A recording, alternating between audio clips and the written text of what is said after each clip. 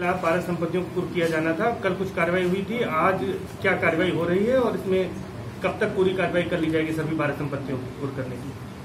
माफियाओं के विरुद्ध जो एक सघन अभियान चला है अपराध मुक्त प्रदेश बनाने के लिए, और खासतौर से यहाँ पर माफियाओं का दमन करने की जो हमारी मुहिम है, उसके क्रम में प्रॉपर्टियों की कुर्की की जा रही है।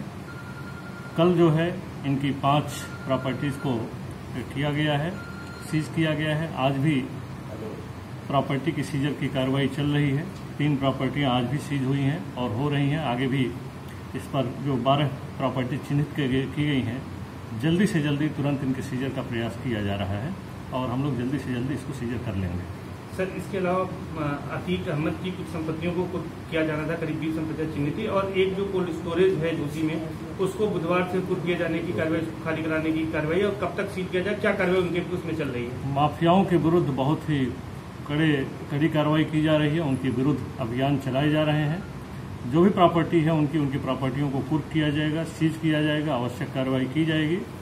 गलत तरीके से बनाई हुई सारी प्रॉपर्टियों को सीज करते हुए, उनके ऊपर एक्शन लेते हुए एक ये मैसेज दिया जा रहा है कि इस तरह से आप अपराध करके, अवैध प्रॉपर्टियों को बना करके गलत कार्य नहीं कर सकते हैं। इसी के क्रम में जो प्रॉपर्टी जिसका आप उल्लेख कर रहे हैं उसके ऊपर भी जो कोल्ड स्टोरेज है उसके ऊपर भी कार्रवाई की जा रही है।